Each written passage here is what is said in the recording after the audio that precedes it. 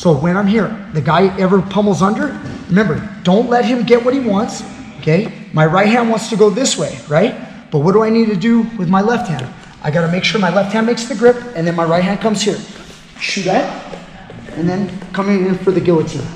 Okay, real simple attack when the guy goes here. This leg, when it chops down, it's his arm power. If his shoulder's here, I can't do this. But if it's here, John, try to lift your arm.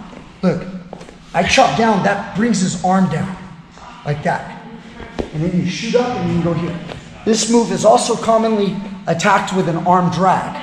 Instead of here, you go here and you go to an arm drag.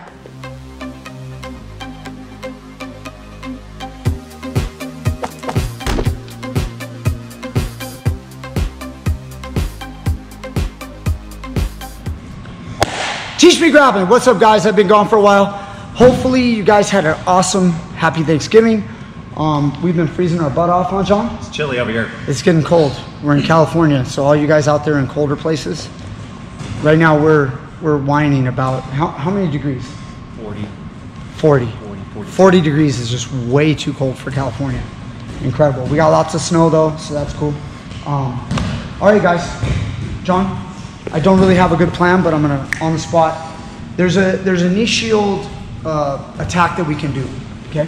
Um, let me talk about. Here, let's turn like this. Camera can see a little bit better. Okay. When you guys are in half guard and your opponent has his knee down, and I'm playing a little knee shield, John's leaning against it. He starts to learn that it's hard to smash my knee. Like he might want to smash like this, and then come back, and then put his hand between, like a leg weave pass. So all of this is kind of like common. So I get my position strong with my elbow on the inside of my knee. See that? and then come over here to the front. So now, when John's trying to crush my knee, he can't. Like, he can't crush it. It's too hard.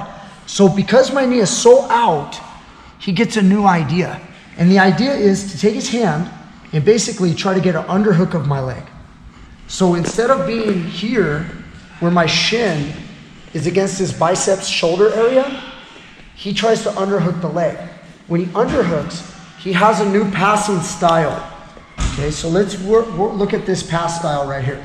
He has the underhook. His goal is to hike the leg up on top of his shoulder, and then he has two directional passes on very basic. One of them is to take, get my neck, and then like drop his right hip down and take his leg out. Okay, dropping his left, I'm sorry, left hip down, and then drop your right leg out. Okay, just drop your left hip and pull your right leg out. Okay, and he passes with all different variations, guys. Sometimes the guy will knee slice with it, whatever. Or he's got his other move, like where I block this side off, and he just does like an underpass on this side, where he passes the leg and he passes to this side with tons of variation. Like details and variation we're not going over, okay, on how you do that pass. But you basically pass to the right or you pass to the left once you get under that leg. So if he pummels under my leg, I do not want his shoulder underneath my thigh, right here. So watch, come look right here. I want this space here. No, you can just come from the front. So look here, I'm gonna take my fingers and grab onto his tricep muscle. Okay, so you can see right here, like that. I wanna keep that tricep muscle, and then my leg is braced against my wrist. So now, when John tries to lift the leg, he can't lift it. It's too heavy. He can't lift that leg. It won't move. It's not just that it's heavy, but there's also a mechanism here that's preventing my leg from going to here. And that's my grip and my arm. My leg is not going to go through my own arm. So lift that, John. See? It's real heavy and he can't lift it. Now, the moment that he does this, or that I do this, he may think that his head wants to come this way, smashing me down, and then he's got his over under pass, stepping the leg out, and he can just pass my guard like that. So you can't just let him do that. So here's how we play we play in the half guard. I'm playing a good shield. The moment that John pummels under, right here, I'm going to take my grip And then I'm gonna bring this hand that's blocking his arm in between his neck here. So if he tries to put his head to his right, I immediately put my hand here. Okay, now I've got two. See that? And this bone against his neck is cutting him off so that he can't shove his head to this side for the over underpass, like this. Okay, so I'm making a grip. Now go ahead and try to move your head, John. See that? Now I'm gonna straighten my arm. You see that? As I shoot it up, I'm gonna swing my leg and chop and sit up. Okay? Now, during this time, because of the back take, I have an obvious back take if his head stays down. So here's what that would look like. If his head stays down, I have an obvious grip here, post my hand, hips go up, seat belt, pull him into me, and then take his back, and maybe even have an arm trapped, right? But because when I chop and I sit up, his head will come up, you're gonna shoot the guillotine. So this arm shoots around to the guillotine. You wanna come around over here? So this is my left hand that's still on his triceps. You have choices. What do you want to do with it? Do you want to take it and shoot it over for an arm in guillotine? Do you want to try to make a space and get a high elbow guillotine? I prefer the high elbow. I would much rather just have my opponent's neck instead of his arm included. But to each its own, you can do an arm in guillotine as well. Notice John's arm is still under my thigh. I don't want him to take it out, so I don't want him to take it out and start defending my guillotine. So when he's here, I'm keeping my leg tight, so it's a little hard, huh? And I make my grip right away. And now look, I throw my leg over, so his arm is out of the picture. And now I have a nice high elbow guillotine. And now I'm very loose right now because I don't want to hurt John's neck, but you could just squeeze and choke him very easily. I'll crunch up and squeeze, and we'll get the tap. So nice little guillotine attack. So watch this again, guys. I'm playing the knee shield normal. Maybe again, classic basic attacks like Kimura's over here, right? We want to look for that Kimura. Maybe I'm gonna pop into an underhook. All of this stuff. Well, my opponent goes under. The second he does, I'm I make that grip so that he can't um, lift my leg. He can't lift it. But remember, I can't let my opponent put his head over here like that. So when I'm here, I swing my hand under, under his neck, and then now as I chop my leg, I'm swinging it around and wrapping up his neck. And then there it is. You can see my hand right here. I'm going to make my grip and lock my guillotine. If you guys go arm in, you can go arm in guillotine as well and be successful. If I go arm in, I'm going to crunch and wrap it up and squeeze. If he probably will sweep himself, you know, he'll probably fall over to his left when he starts to feel the pressure, kind of like Khabib did with Poirier. If he falls over, just go ahead and slump over. If he slumps over, go ahead fall over, John, like you're skipping. Yeah. You can bridge up on top and mount. And then now I have the arm in guillotine. It's up to you guys if you guys think you're going to be able to finish the move or if you think you just need to let go and then come up on top and go to work. Okay?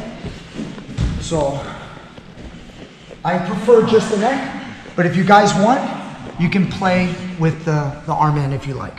I like just the neck myself. So when I'm here, the guy ever pummels under, remember, don't let him get what he wants, okay? My right hand wants to go this way, right? But what do I need to do with my left hand? I gotta make sure my left hand makes the grip and then my right hand comes here. Shoot that, and then coming in for the guillotine. Okay, real simple attack when the guy goes here.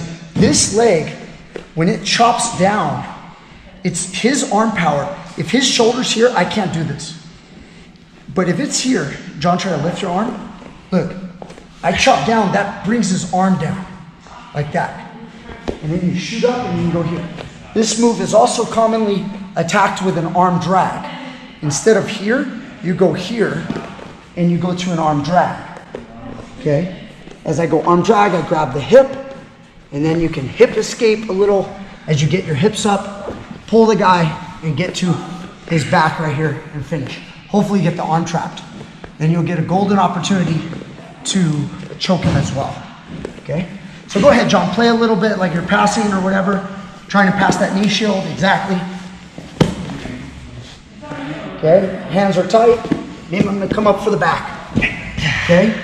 So right there, John kind of he went into defense, which some guys will. They'll go into defense if he if he kind of clams up. Just look to take the back. If he leaves his neck open because he lifts his head, like a lot of grapplers will as well, then we're gonna go. See, I play here, and then now I'm gonna get my elbow here, sit up. He doesn't. Again, John, lift your head. If you want to come up, yeah. Then the neck's open, and then go here. Again, John's reaction is clam up. Some of you guys out there are gonna run into the guy that clams up. Just come up for his back. You go ahead, go to the bottom. Mm-hmm. So a lot of people will do this reaction too. They don't want to get caught. So John's playing frame with his left hand.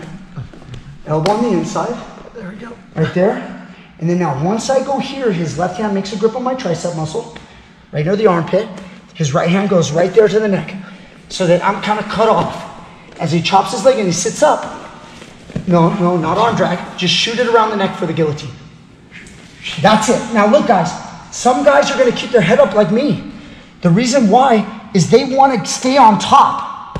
And when they stay on top, you can see how John can just pummel his left hand underneath my arm and then lock the guillotine and wrap me up. And he's going to choke me out. Even if his arm comes out from between the legs, you still have a great opportunity for a guillotine. Remember, there's, a, there's always going to be variation. So in these positions, because when you fight for real, it's never the same every single time. So these are the grips right here. Well, excuse me, I didn't go. I didn't go here yet. Oh, yeah, So we're here and here. This is your grip right here. Remember, he's cutting me off from that over under pass. Okay? He wouldn't want to leave this arm over here and let me come to this side, where I can just like work my leg out of half guard. So the moment I'm here and I, I can't pass, he's gonna go right there, and then now go ahead and chop the leg and shoot the right arm. That's the guillotine right there. If I clam up, he can just go to the back. And then he's right there, and he's gonna finish me with a rear naked. Okay? All right. John, I know I sprung this on you. That's good. He hasn't done it, but guess what? See, every time I teach you guys, I like, I, I, I never like rehearse with my students, and I, I partly do it because I think it's great. Well, one, it saves time, but two, it's great because I expose the, the, the student to the new technique just like you are being exposed if you haven't seen this before. And then the same things that he move, the way he moves or reacts, is the same way you might move or react, or your partners will move or react. So it, it kind of gives it like something like like it's more real. So hope you guys enjoyed. Um, this is a move that I use a ton. It really depends on your partners. Sometimes you have guys that stand up. Let's go. All my partners stand up. What do I do against a guy that stands up? Some guys you'll have that just want to smash. They heard the phrase smash pass or uh, you know pressure passing. Guys who pressure pass, they try to underhook that leg a lot. So um, if you run into that, now you've got a quick move. You can try to snap on them, see if it works. Okay, John, what do you think? I like it. All right. This will add into my game. Did you have a good Black Friday? Actually, I did. I got You some did? good deals on jackets. All right. Some uh, winter wear. All online? Online. Or did you go out and, and go out Online, with and then I went out with the masses. Okay. Yeah. Did you see anybody get run over by like, by like a no, no. like an 80 inch screen TV? No, no. Everybody was uh, was cooperating. Okay. Everybody was good. behaving. Yeah. Well, just go on YouTube for that. Just look up Black Friday 2019 uh, craziness, and you'll probably find some good stuff. All right, guys. Hope you're entertained. Thank you guys so much. Teach me grappling. Click the link down below at Patreon, PayPal. Contribute to this channel. I'm sorry I've been gone a few days. I am back. See you guys next time. Out. Good. Thank you. Yep. John, you're getting gray hair. I know a lot. 33 now. 33, 33. fuck. and you're already getting gray hair. Oh, my father's wizard white. He's got a bunch of white hair. Oh, damn. Getting old. Who looks Who looks younger, me or you? You do. Yeah. I'm old. It's because of my uh, moisturizer. Moisturizer every morning.